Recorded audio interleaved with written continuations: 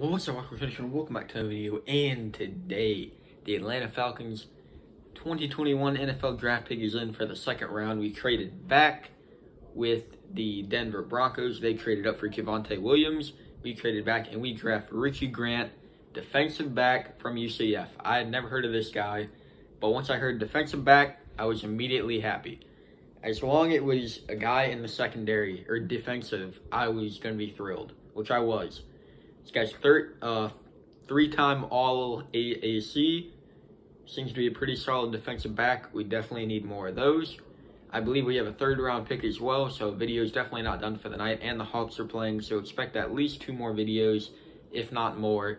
But the Falcons have selected safety slash defensive back from UCF, Richie Grant. Great pick by the Falcons. It was smart to trade back instead of our sixth round pick in like the 200s. We have another pick in the uh, in like pick 114. I think that's what we got in the trade. But I like the move.